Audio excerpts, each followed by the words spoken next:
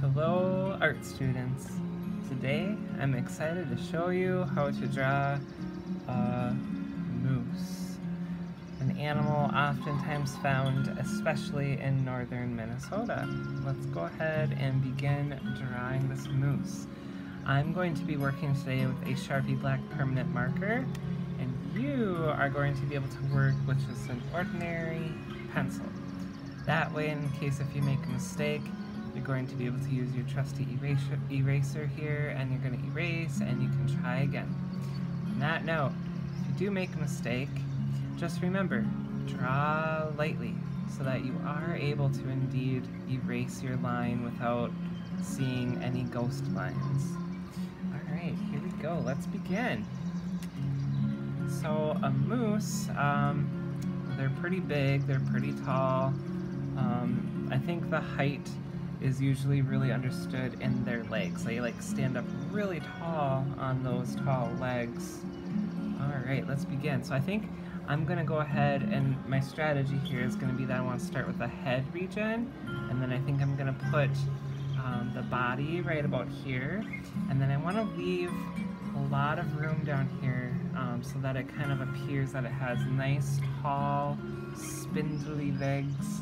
Um, and then maybe down here at the bottom we'll do some rocks and some grass and just give it a little bit of some detail. And if you want to even add trees in there into the background and kind of evolve your art you know with a really cool background um, with your imagination you can do that. Alright let's begin. So right away um, a moose's head we want to save some room up here probably for their big antlers. So I think I'm gonna go right about here Actually, first I'm going to grab a better marker. See that one's tip is not going to work out so great. This one's looking much better. There we go. Alright, so here we go. Dip down right here. We got a nice long snout. Like that. Okay. Then what we're going to do is we're going to come right where we left off here. And we're going to curl down and curl up. Kind of like that. This is their snout. Um, we're gonna turn this little curled in part right here into their nostril. Their nostril is really big actually and it's a unique shape. It kind of comes out like this and we're going to continue over here on the other side, because our snout kind of flares out a little bit right here. So um, we're going to come out right here on the other side, like this. Okay, doing good so far. We're going to come right here under the nostril region. And they kind of have almost like a little gobble kind of thing going on here, and then it turns into like a big um, big wavy part that just kind of hangs and dangles down here. Alright, so we got that part right there.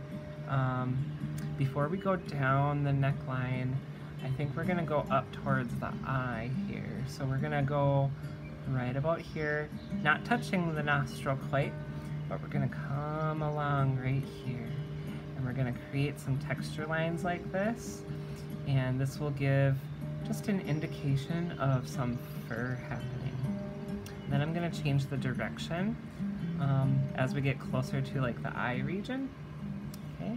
Now as big as a snout as what moose might have, their eyes are actually not that large compared to the rest of their head. So kind of interesting. We're going to draw a circle here now for the eyeball. Okay.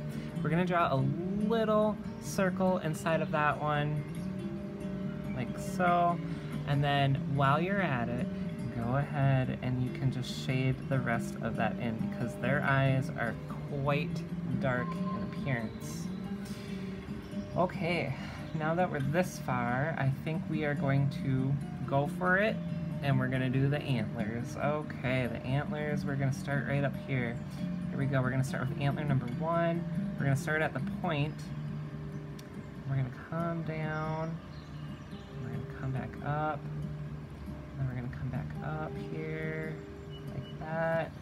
And then right about here, we're going to come out like this, and then we're going to come up like this. And then this one will come way up high, it'll slightly bend out, come down, curl up. They have a really unique shape to their antlers, and they're very, they're not like deer antlers, they're kind of wide. They have really huge ones, and they're very wide and bulky in their shape. Okay, and then we're gonna the bottom side of their antler is very narrow uh, or straight at an angle. So we're gonna slightly bend here, very slightly. And we're gonna come down and we're gonna imagine that it touches right there, okay?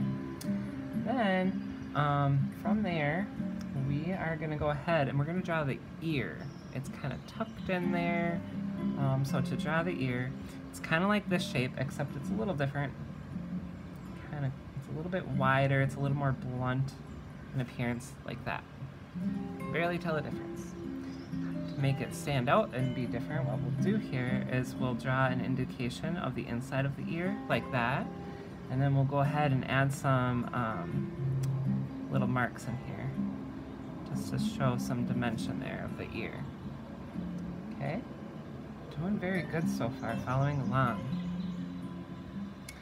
Alright, so now that we did this side of the antler, let's go ahead and we'll go over to the other side. So to do the other side, we're going to start right about here. We're going to come out and up, curl down, here we go. And then we're going to come right along here, curl upwards like so, down, curl in like that. Okay. And then we're gonna have another one curling up like this.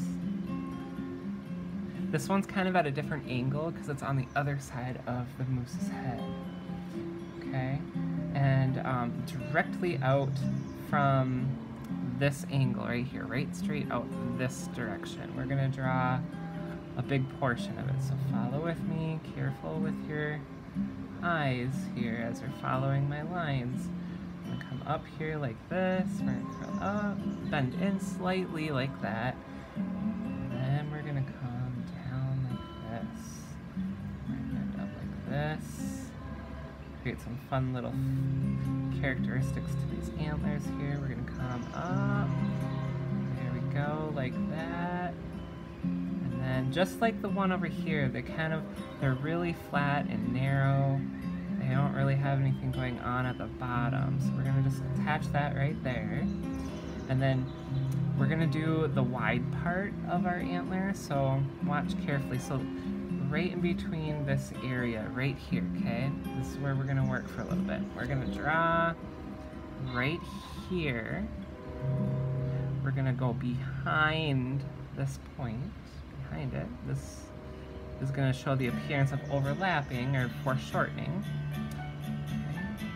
We're to come up, we're to come up like this, like that. And then over here, it's kind of like a wavy seashell. The way I look at it, kind of like that. Okay? And then what we're gonna do is we're gonna come back in and the ear of this um, on this side is to be way over here. And we're to just plant the ear right in here right away so we know that that's the ear and it's not an antler or anything else. We're to shade it and give it texture, kind of like how we did this one. We're to just give it some um, texture marks over here, some shading, like that. Okay, so now it's easier to tell you know, the ears apart from the antlers. Okay? We're doing very good. I'm gonna stop right there because this is like a lot for the moose head and I want you to take your time in parts with me. So I'm gonna stop right there and I'll continue in the next video.